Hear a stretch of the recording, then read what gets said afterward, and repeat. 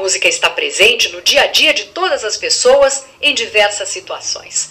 Ouvimos música em casa, em festas comemorativas, nas igrejas ou até mesmo nas ruas e em parques, para nos distrair, para nos ensinar ou simplesmente para descansar e relaxar.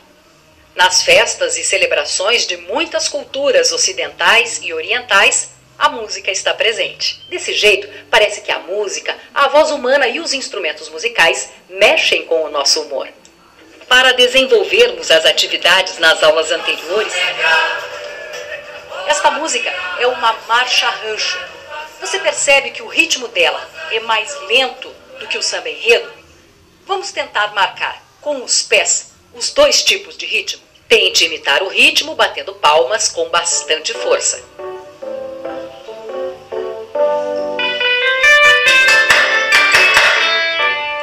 Da música executada ao vivo, se faziam também efeitos sonoros para marcar momentos de emoção ou de tensão que apareciam na sequência das imagens.